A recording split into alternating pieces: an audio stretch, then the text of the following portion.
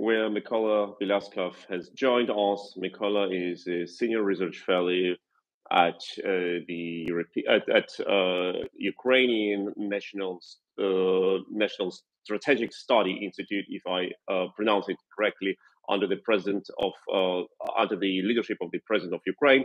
And he's also an analyst at uh, the Comeback and Alive Charity Foundation, one of the most prominent Ukrainian uh, charity foundations, which helps uh, Ukraine to win this war. Welcome, Mykola. Welcome to this to this uh, live broadcasting. Thanks for invitation.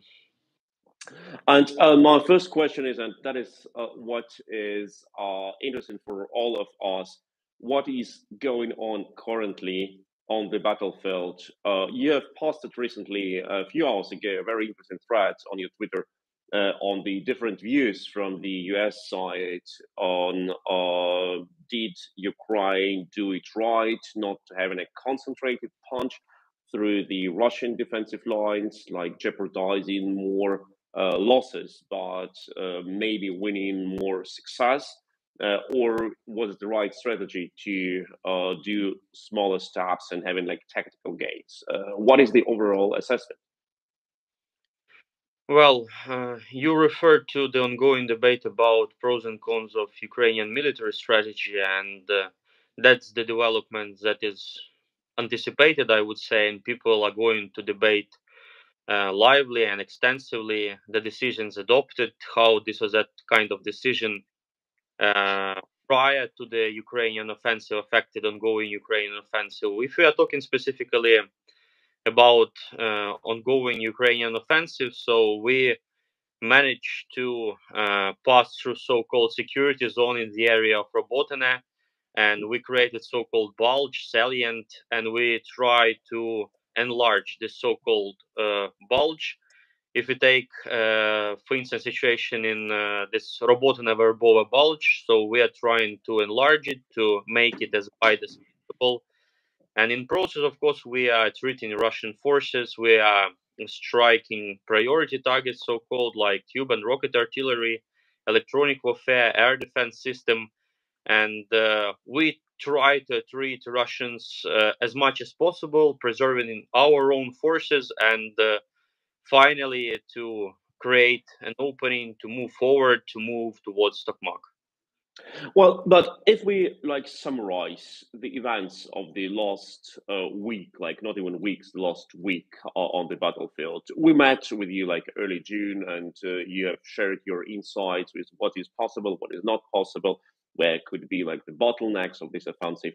But what we have seen within the last week, uh, we see that uh, the Ukrainian army has achieved uh, incredible success on hitting Russian high value targets in Sevastopol, in Yevpatoria, in other regions where Russian battle, uh, Russian naval uh, ships have been hit, Russian uh, naval docks have been hit, Russian high value uh, air defense uh, units have been hit. And we have also seen since like the last like two weeks uh, that the losses of Russian artillery uh, have like skyrocketed with over 40 or even 50 pieces a day. We also see today the report of Ukrainian military intelligence that uh, Russians, Russian soldiers, uh, about like 170 soldiers a day, capitulate to uh, the Ukrainian army. Are we witnessing now some sort of uh, like of a changing moment in this war when Ukraine is gaining like more uh, chances to hate the Russian army and achieve like some significant success? Uh, well, there is a lot of developments. You mentioned them, but uh, let us separate a little bit because as for me, what's going on uh, in temporary occupied Crimea at sea and what's going on on the front line, these are more parallel stories. Uh, definitely, with um, like striking the Russian air defense system and opening ways to strike Russian military infrastructure in temporary occupied Crimea, it might positive effect uh, and might create conditions for Ukrainians move, moving forward in uh, southern mainland. But right here, right now, these stories are more like parallel stories. And if we are talking again about the front line, most analysts uh, agree that uh, well uh, the two most important factors is the balance of munitions and reserves. No one knows precisely this balance of munitions and reserves uh, but all agree that these two would be most important factors. And uh, what is striking in this uh, operation Ukraine conduct and the way Russian conducting defense in the Zaporizhia region, what is most striking is that they've thrown everything in the first line of defense in a so-called uh, security zone. Because uh, if they follow textbook uh, they needed to slowly withdraw with fighting slowly exhausting ukrainian forces preserving as much as possible of their own forces and equipment and then laying conditions for counterattack but what we've seen they've thrown everything in the first line that's why very little movement very little change of uh, territories that is uh, one of the reasons why, uh, until recently, especially in the area of Robotyne, there was very little of movement. That's uh, the situation going on on the front line. If we are talking about development specifically in temporary occupied Crimea, at Black Sea, uh, it's also very important developments, uh, but they are more related to the freedom of navigation. They are more related in general to decreasing the capabilities of Russian Black Sea Fleet. And uh, as I said, the only possible connection is that if we open more ways to strike military sites in temporary occupied Crimea, uh, on which Russian grouping of forces in Zaporizhia and Kherson region de- uh, depends, then of course we would create more favorable conditions to move on. But right here, right now, these are kind of parallel stories more. But if we uh, like stay a bit with this spectacular attack on the Russian naval facilities uh, in the occupied Crimea, how was it possible to do it? Like the Russians um, finally, like they acknowledged that uh, several uh, Ukrainian cruise missiles have hit their uh, naval vessels. Uh, was it like somehow connected with this spectacular operation of the Ukrainian special forces when they took control over the um, over the gas and oil rigs in the offshore platforms, which were probably the places where the Russians had their uh, their air defense radars or some sensors. Uh, like, how was this operation possible?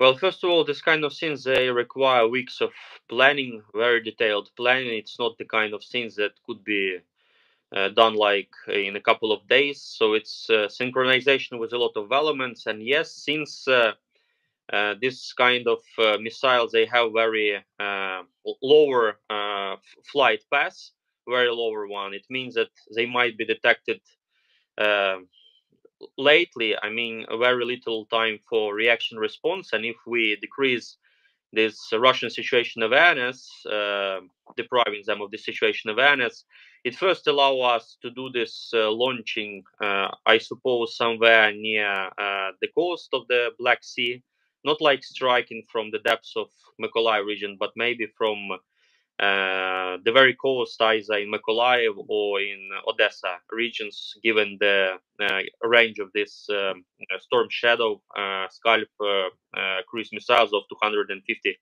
kilometers. So yeah, I suppose there is this kind of connection that deprived Russian of early warning, so-called, and left them with very little time to respond. That's why uh, there was this, according to the Russians, quite a big salvo, because 10, 10 missiles is quite a big salvo, and some of them managed to pass through it. But of course, it's a Russian statement. There might be a situation when there was uh, the salvo of lesser degree of lesser scale, and the Russians didn't manage to intercept anything, given, uh, again, this sea skimming uh, capabilities of these cruise missiles, given stealth characteristics of these cruise missiles. That's why it's a very sophisticated operation. Yes, there is the direct connection with previous actions with depriving Russians of situation awareness, and uh, who knows how much of these missiles were used and uh, how much Russians really intercepted.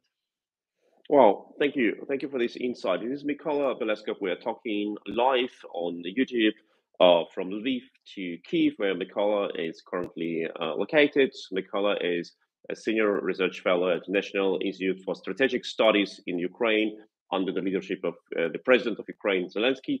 And uh, we're talking about the Ukrainian counteroffensive and the out, uh, outlook for this war. Uh, we have currently in Germany this discussion on Taurus missiles. So should they be delivered to Ukraine or not? They are pretty similar on their characteristics to uh, Storm Shadow and Scalp missiles.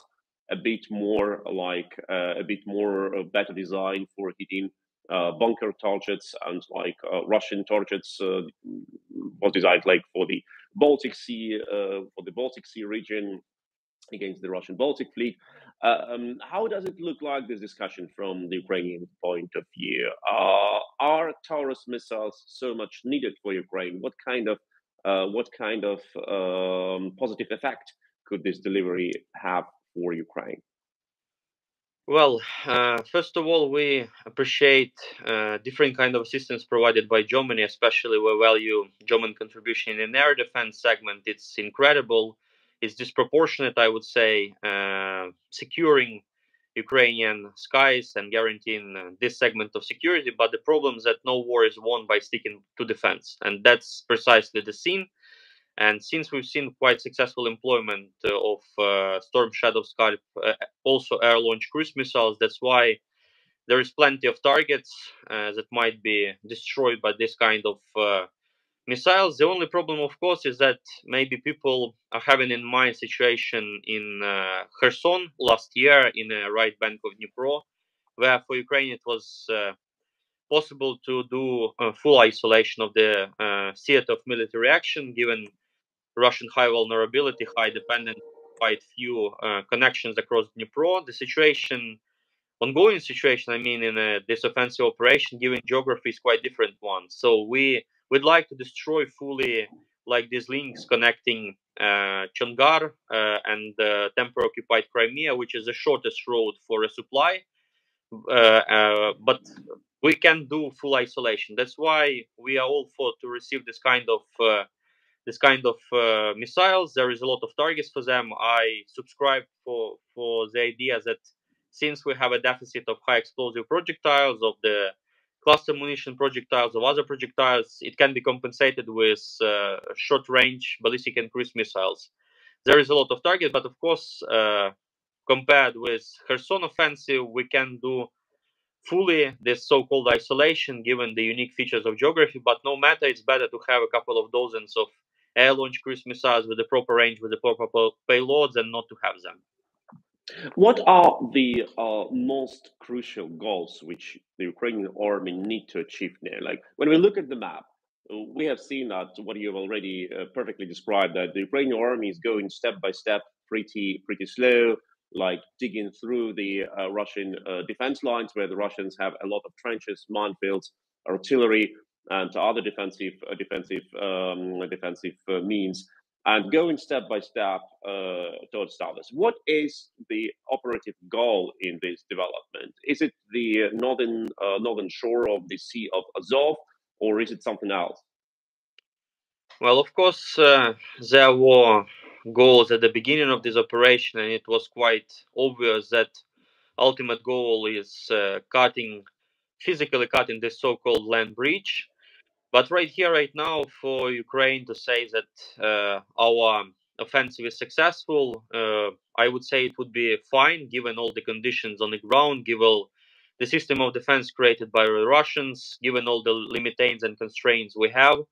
For Ukraine, it would be fine to come to at least to Tokmak, and uh, from this ground, from these positions, maybe start another offensive, another push forward uh, at the next spring. So for Ukraine, it would be fine at least to come to, to Tokmak, uh, and uh, that's that's how I see the situation. There is, of course, these ideas. If Ukraine is successful in coming to Tokmak, we can take under the so-called fire control of the, all the roads in this uh, land bridge, but uh, well, I am bit a bit more cautious because um, to take uh, fully into the fire control, you need to be the radius of like 40 kilometers, or better even 25 to 30 kilometers. That's why for Ukraine it would be fine to come to the outskirts of Tokmak and uh, solidify control of these uh, territories, and then maybe regroup without allowing Russians to regroup and uh, replenish the stock and prepare for the next year campaign.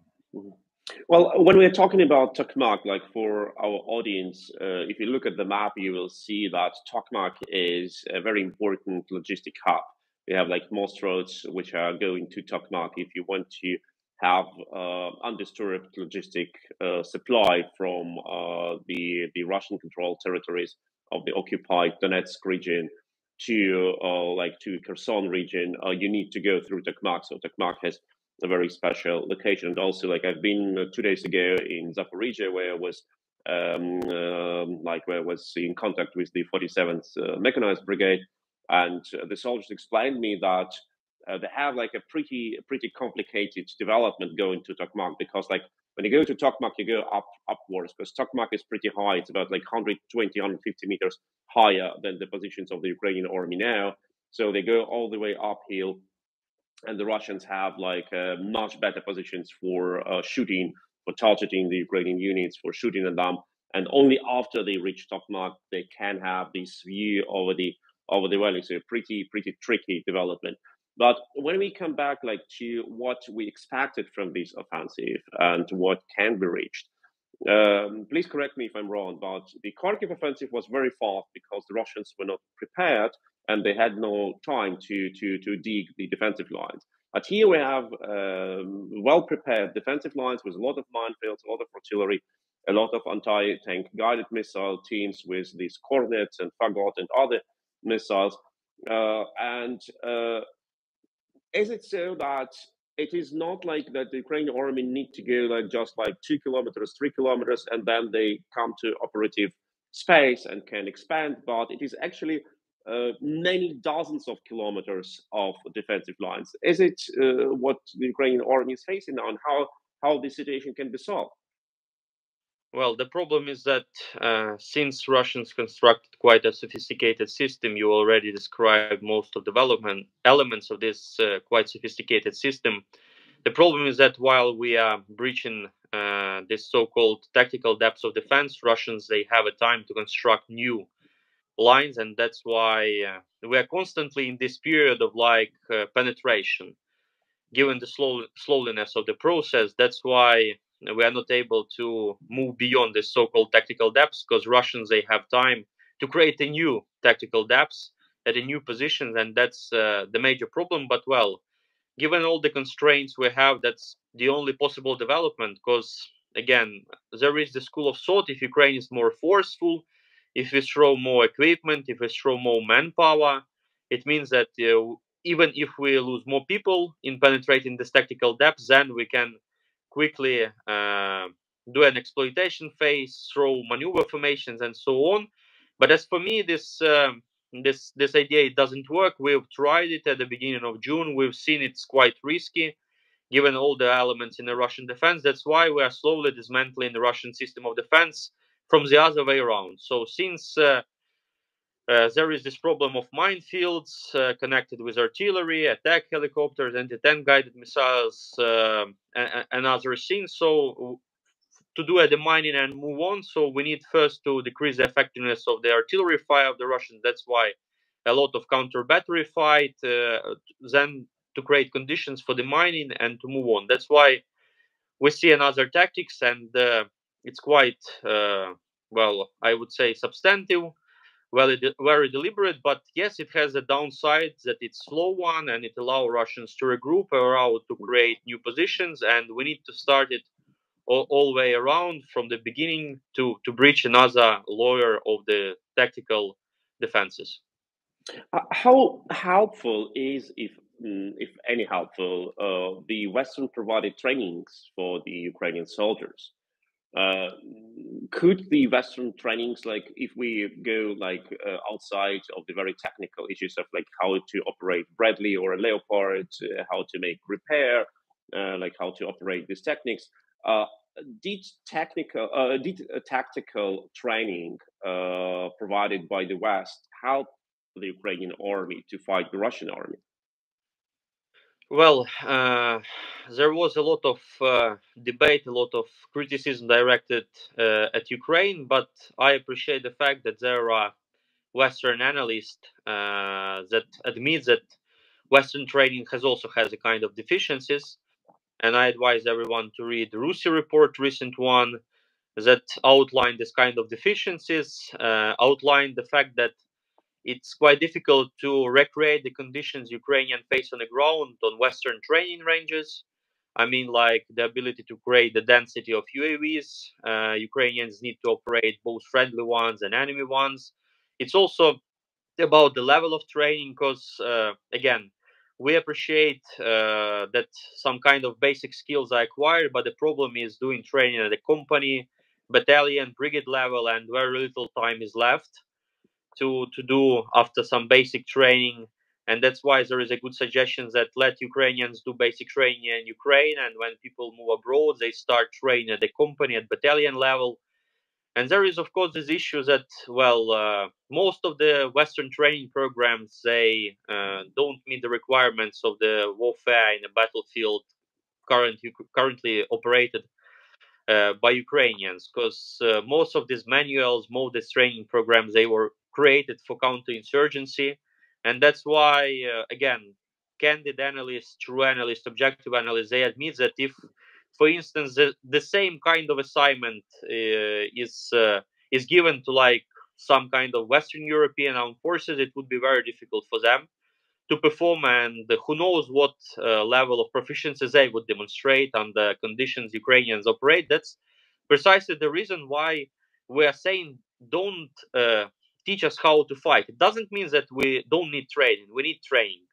We need some basic skills. It means that, well, uh, since we have a unique conditions you never faced, and it's not only about air superiority, which is important. It's also about the level of mining, obstacles, uh, system of fire created by Russians, and so on. So don't apply mechanically your own doctrine, your own lessons. That's uh, the the reason why when Ukraine are saying don't don't teach us, or please be more more cautious in the advices you provide. It means this kind of thing. It doesn't mean that we don't value. We value uh, training provided by the western countries by european countries by uh, us and so on but there are a lot of caveats. There is a lot of details and as i said a lot of analysts uh, true analysts they admit that there is deficiencies in western training program uh, also and they need to be remedied. And uh, in general there is uh, a kind of agreement among experts in public uh, debate when you see who is providing this or that kind of opinion that it's very difficult to master combined armed warfare at scale in a one point half to two months uh, and uh, that's uh, the reality of war you only acquire skill for real combat you can't uh, with any kind the most sophisticated pre-deployment mm-hmm. training it would never make troops as prepared as possible for the combat mm-hmm. so the real uh, opportunity to acquire skills it's in combat. It means again losses and that's why uh, again this uh, debate uh, ideas provided that ukraine need to be more forceful but we need to preserve as much troop as possible both to move on but also people learn skills because otherwise you need to learn it uh, once again. I mean fresh people come and they need to start it uh, again. So that's why there is a lot of uh, things to consider from this offensive, including mm. uh, the sophistication, the level of training, some nuances, some uh, downsides in a Western training program. That's why we value everything we receive, including training. But let's be honest that there are a room for improvement. Yeah, absolutely. I have heard stories uh, of trainings provided uh, in the West uh, when the Ukrainian soldiers asked for direct advice, like what should we do when we face a, a minefield uh, in our offensive. And the advice was, well, like you just like go like 500 uh, meter left or right or one mile left or right, and you just uh, like go uh, this this minefield around. But uh, it is absolutely impossible. Maybe it's possible in Afghanistan or in Iraq, where the limited amount of mines like uh, was used by the by the insurgents. Like maybe some roads were mined, but the next road was not mined. But in Ukraine, there are like uh, dozens and hundreds kilometers of minefields. You cannot just go left or right. Um, it is impossible. The same like with the um, with the support of, of artillery, you cannot just go to the hill, uh, take your binocular and observe the field. First, there is no field, uh, there is no hill in the uh, in uh, Kherson or Zaporizhia Oblast, and second, you will not survive. The situation will just like uh, stay with your equipment on the top of the hill and uh, try to provide the, the advice. So the tactics which were okay against insurgents, as you said, they are absolutely um, useless uh, uh, when you face the Russian army with a lot of artillery, drones, uh, with electronic warfare, with minefields, and with with the, with the other with the other means. But if we come uh, back to the situation on the ground, we have concentrated recently uh, discussing the Zaporizhia region, but we still have Donetsk region and Luhansk region, where the Russians try to start some sort of their counteroffensive, which uh, seems to have failed. What are the Russian goals in this summer campaign? Uh, well, their most important goal, their number one assignment is to repel Ukrainian offensive. That's why they are throwing all the manpower, spare manpower uh, in the Zaporizhia region. Uh, that's their number one task. Uh, and the activities you mentioned around Kupiansk, it's also directly connected with the Zaporizhia region because the main task, uh, along with maybe replaying the results of Balaklia Kupiansk offensive operation done last year by Ukrainian forces, is first and foremost to deflect as much Ukrainian forces as possible Fortunately, it failed without producing a major exchange of territories. According to Ukrainian data, Russians uh, needed uh, to regroup, and a very small amount of territory changed hands. And the Russians they are still like eight to ten kilometers from Kupiansk to the north uh, to the northeast of the Kupiansk. Uh, if you're talking about other uh, like major operational accesses uh, in Bakhmut, we have quite good successes, but actually we are facing the limits of what can be done. I mean, we fully reduced Russian salient to the southwest of Bakhmut. We partially reduced Russian salient to the northwest. We pinned as much Russian forces as possible. We recently uh, have reports about Andriivka, and also there is developments going on in Klishchiivka with Russian activities, uh, with Ukrainian activities against Russians, but we are facing the limits because to move on, we need uh, spare uncommitted forces, and we don't have this kind of luxury. And if Ukrainian military command, highest military command, ha, uh, has, for instance, like two, three army corps, for sure, uh, Zaporizhia direction, Melitopol direction, so-called, is most promising one, and that is the direction where uh, these forces might have been committed. In uh, around Avdiivka, situation is mostly the same one, with even uh, some local Ukrainian successes around Opitne. But uh, for both Ukraine and Russia, this axis is secondary in terms of how much we can spare hmm. compared with other directions. We also have uh, success south to Velika Novosilka, but after like uh, liberation of uh, Staro- uh, Staromayorsk, I'm sorry, Staromayorsk, uh, that that happened uh, at the beginning of August. Right here, right now, we're trying to reduce Russian salient uh, around Novodonetsk and Novomayorsk, but without uh, success. Hmm. And uh, in general, the most important part of the front line is Zaporizhia region, where the fate of this campaign, this the summer part of this campaign would be decided. That's why, despite both Ukrainian and Russian attempt to deflect attention, to deflect resources, most of the resources are concentrated there by both sides. Well, we have uh, seen already the, the, Russian attempts to mobilize as much possible manpower. Uh, not only the Russian citizens, we have uh, seen like how they try to recruit the Cuban mercenaries, how they forcibly conscript labor migrants from uh, Central Asian countries like uh, Tajikistan and others, like people who came to Russia um, like for jobs, but have been forcibly conscripted or being lied into army. Like, uh, mm, for example, they have been sent to Mariupol, to Russian occupied Mariupol, and it was promised to them that they will uh, work there as construction workers, but they found themselves in the Russian army after all can we say that uh, the Russians have like some significant amount of manpower resources which is still untapped? Like we are talking about the planned mobilization in, in, in Russia for the next month. Uh, is it something that the Russians can do? Uh, well, nominally Russians have a lot of spare manpower, but uh, again, it's quite nominally because the issue of another round of official mobilization, if you remember, it was discussed from the January of this year, and for I don't know what kind of reasons we can debate them, different hypotheses. Putin didn't do this kind of thing. Well, I can uh, say there is a number of reasons that prevented him from doing this. First, uh, for the strategic defense they are currently doing, they need much less, and partial clandestine mobilization that is ongoing constantly for 18 months. It's more or less fine to replenish the losses because according to a main intelligence directorate, this partial clandestine mobilization is giving the Russians like 20, 25,000 troops a month. And for the strategic defense, you need less of manpower compared with the mm-hmm. strategic offensive operation. Uh, another issue, well, uh, uh, despite the fact that Putin is autocrat and his autocracy is tending to, to totalitarian regime, despite this fact, uh, he, he still might fear the backlash from another round of mobilization.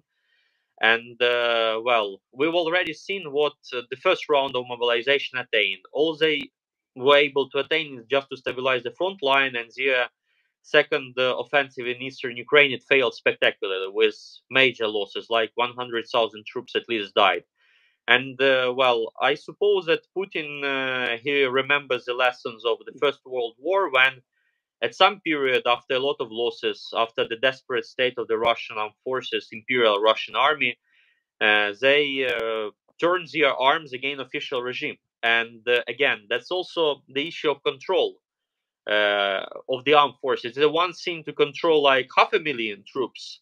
It's another sin to control one million troops. I mean, in terms of political control to prevent some kind of mutiny and so on. We already seen one mutiny. That's why, despite the fact that nominally Russia has a lot of manpower, and this is the argument that is provided by the proponents, let's be honest, by the proponents of the some kind of negotiation with mm-hmm. Russia, they are threatening Ukraine. So in this game of uh, exhaustion, you don't have any kind of chance. That's why better for you to do a kind of mobilization. But as for me, uh, this this issue with mobilization, why Putin postponed it, why it's, it's, still debated, it's a very cautious story. It means that something is of major concern for Putin, why he is not calling mobilization, and that's why not better not to threaten Ukraine with uh, indefinite stock of manpower in Russia compared with Ukrainian man stock, and uh, better uh, learn uh, why Putin is not doing this kind of things. And I suppose even if he's uh, going to do this kind of thing again, it would be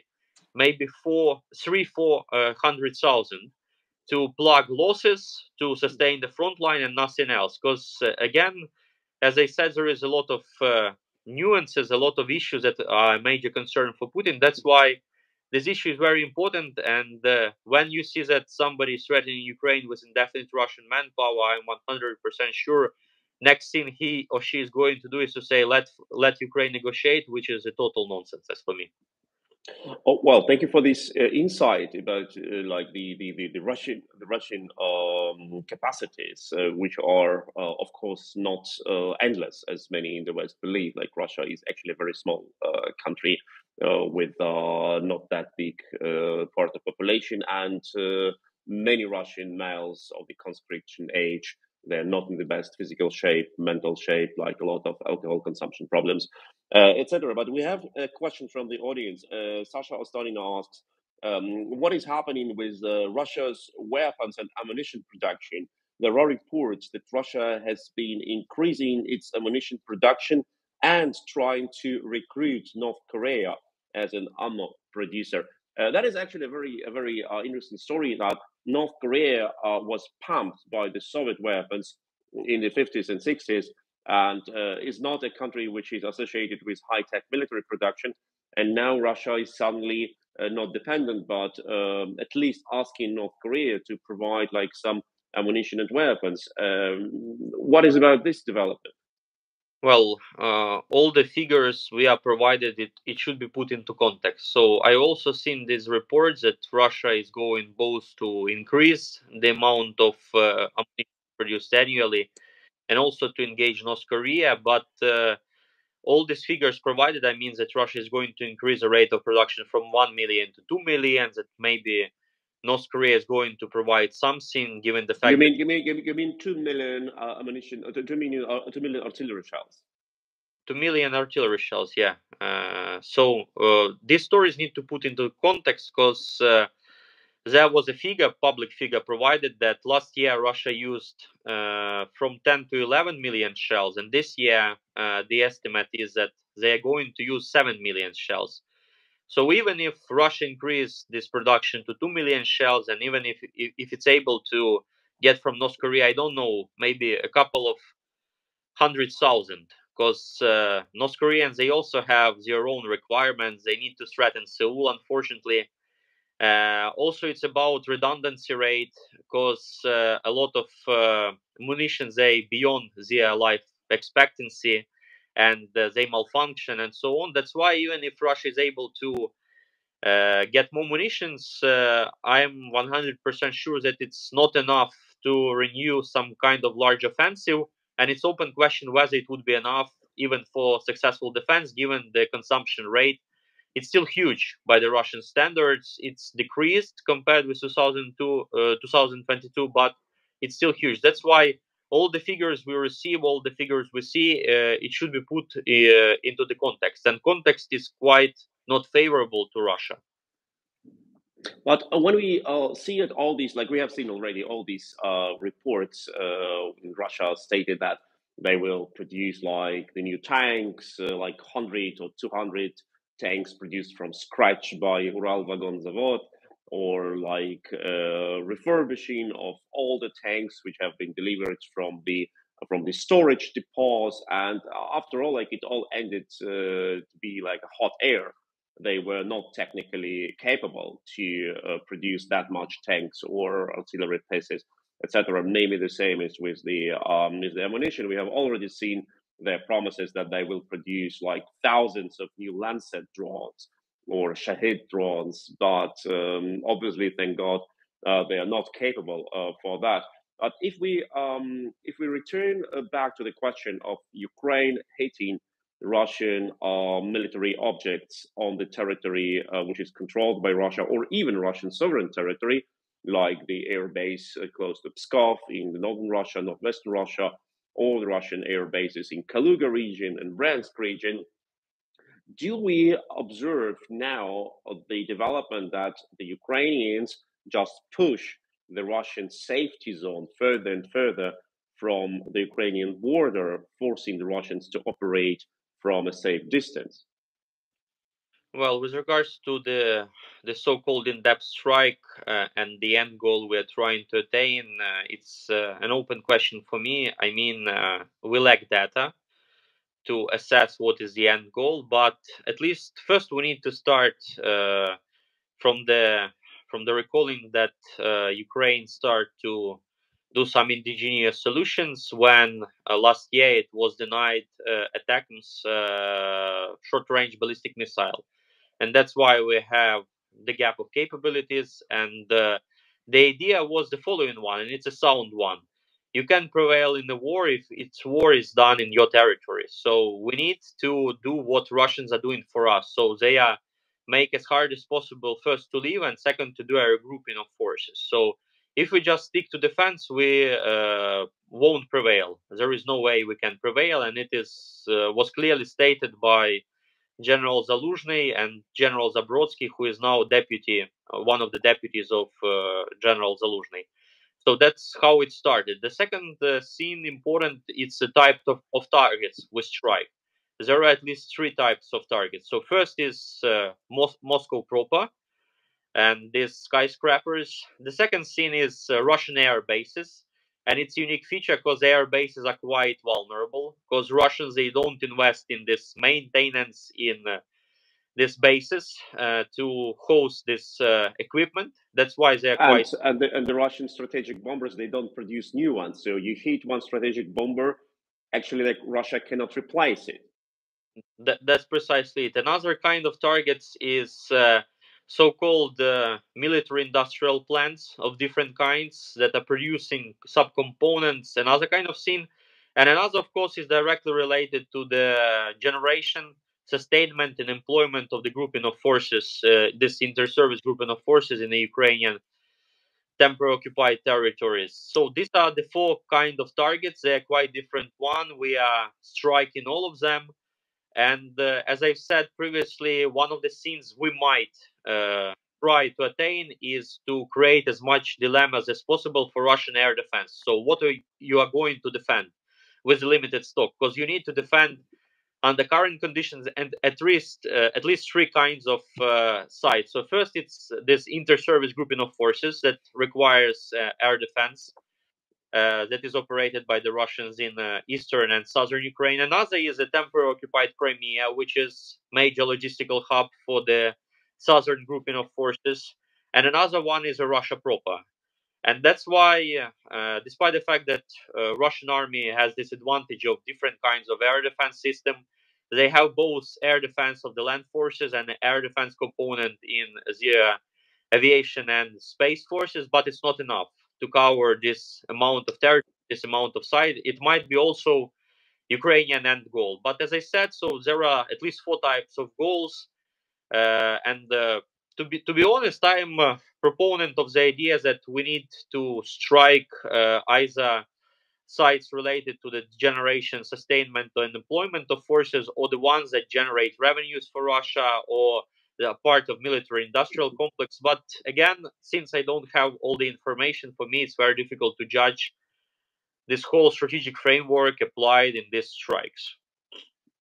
Well, that is an amazing insight, and we have seen already in the last year that uh, the Ukrainian offensives uh, they they brought success, but they did not end the war out of quite obvious reason because of the um, massive resources which Russia invested in in uh, in this war, but Ukraine is going further and further, liberating more and more territories, and now Russians, as you already mentioned, Russian uh, main goal is to defend what they have already conquered, but uh, that means that the Russians have abandoned the idea, or at least for the uh, for the next time, to go in offensive. They they are in defensive now.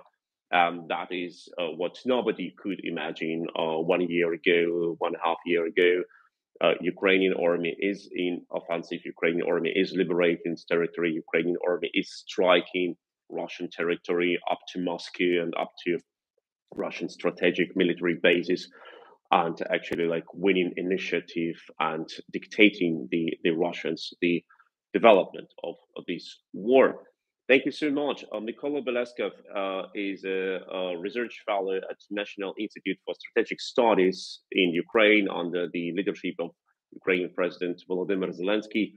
He has spent with us his time today, providing us with uh, very uh, with his knowledge and with very deep insights. And I hope to see you soon again. Thank you, Mykola.